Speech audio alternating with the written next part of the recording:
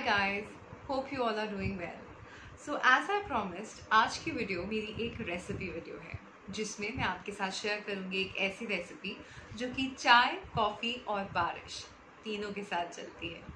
जी हाँ आज हम बनाने जा रहे हैं मुठिया। मुठिया ऐसा गुजराती डिश आप में से बहुत लोगों ने इसे बनाया भी होगा और खाया भी होगा। पर मैं इसको थोड़े से ट्विस्ट के साथ बनाऊँगी। सो so, एक छोटी सी कहानी। मुठिया मैंने सबसे पहले खाई थी अपनी एक फ्रेंड के घर who's been married into a Gujarati family so the recipe comes from there authentic Gujarati recipe so let's get started do try out this recipe बहुत टेस्टी बनती है। आप इसको स्टोर करके भी रख सकते हैं फ्रिज में and whenever you want to eat it आप इसको छोंक सकते हैं। डिटेल्स अभी देखिएगा। चलिए।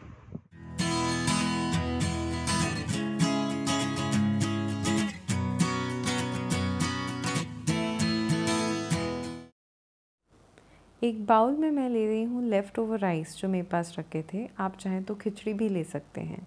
ये दो से तीन कटोरी के करीब होंगे लगभग। अब हम इसमें डालेंगे ग्रेटेड घिया। ये छोटा सा घिया मैंने लिया और इसका एक्सेस पानी हटा दिया बट बहुत ज़्यादा सुखाया नहीं है इसको मैंने। नेक्स्ट आधी कटोरी के करीब मैं कैरेट ले रही हूँ। अगेन ग्रेटेड कैरेट है ये। और साथ ही मैं इसमें लहसन एंड ग्रीन चिली का पेस्ट डाल रही हूँ। इससे इसका फ्लेवर बहुत अच्छा आएगा। अब इन सब चीज़ों को मैं अच्छे से मिक्स कर लूँगी सो so दैट ये आपस में अच्छे से कंबाइन हो जाए एंड बाद में जो है, ये बाकी इंग्रेडिएंट्स के साथ अच्छे से मिक्स हों। अब मैं इसमें डालूँगी हाफ़ कप ऑफ़ आटा नॉर्मल आटा जो हम घर में यूज़ करते हैं। एक कप इसमें मैं डाल रही हूँ सूजी। सूजी प्लेन है, इसको मैंने रोस्ट नहीं किया है सिंपल सूजी ली है। और थ्री फोर्थ कप बेसन ऐड कर रही हूँ। इन चीज़ों को ऐड करके अब मैं इसको फिर से अच्छे से मिक्स करूँगी। ये देखिए।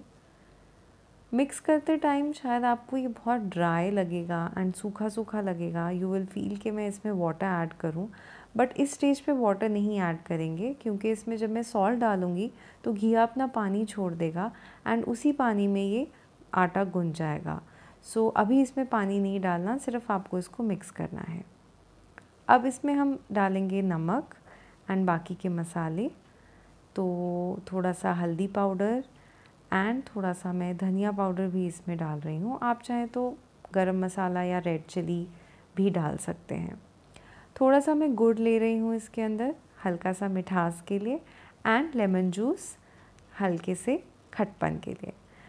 सो so, अब इसमें दो बड़े चम्मच के करीब मैं तेल डालूँगी एंड अगेन इसको एक अच्छे से अब मैं मिक्स कर लूँगी। सो एज़ यू नो कि गुजराती डिशेस जो हैं they are known for their khatta meetha taste इसलिए मैंने इसमें हल्का सा गुड़ डाला है।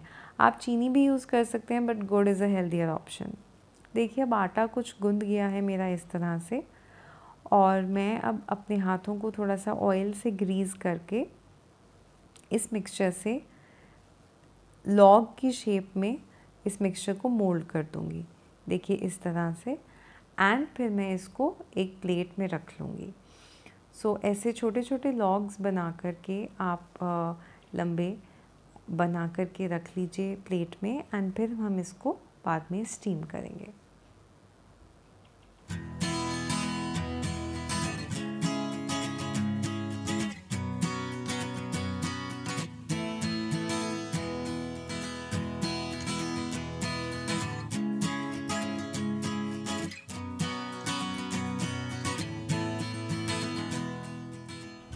ये देखिए मेरे लॉग्स बन चुके हैं और अब मैं एक स्टीमर की प्लेट को ऑयल से ग्रीस करूँगी। इसके ऊपर मैं ये लॉग्स को रखूँगी। सो दैट ये चिपके नहीं तो मैंने इसको ग्रीस कर लिया है। अब स्टीमर के अंदर मैंने पानी उबलने पहले ही रख दिया था। तो वो बॉयल हो रहा है नीचे एंड उसके ऊपर मैंने ये लॉग्स अच्छे से प्लेस कर दिए हैं।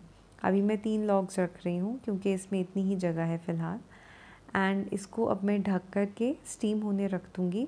For around ten to fifteen minutes ये अच्छे से पक जाएँगे।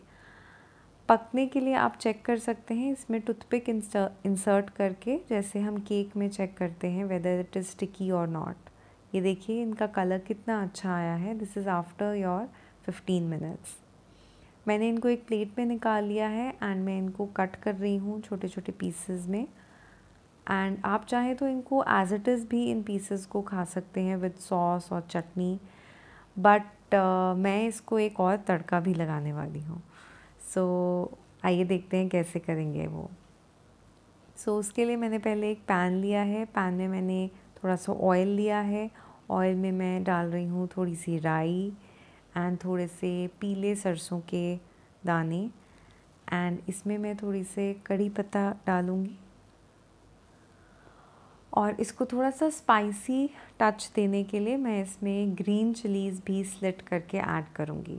Again khatta, meetha and teekha that is what we want out of this so मैं इसमें ग्रीन चिलीज़ ऐड कर रही हूँ, इसीलिए।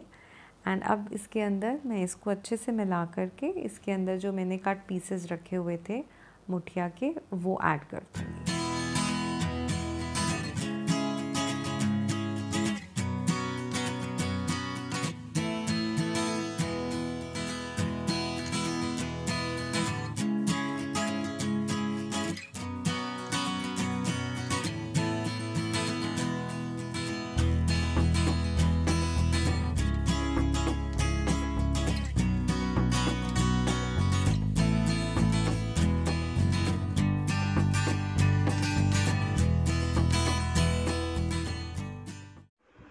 गाइस होप आपको ये रेसिपी पसंद आई हो. Do give it a try बहुत अच्छी बनती है बिलीव मी एंड समोसे ब्रेड पकौड़े एंड किसी भी फ्राइड से ये लाख लाख लाख गुना अच्छी है. सो कमेंट सेक्शन में ज़रूर बताइएगा आपको कैसी लगी. And heartfelt thanks to all of you जिन्होंने मेरी रेसिपीज़ ट्राई की हैं. एंड आपने कमेंट्स दिए हैं कि आपको बहुत अच्छी लगी. किसी किसी ने लिखा है कि उनकी recipe turn out to be very well so thank you so much. Uh, these comments keep me going.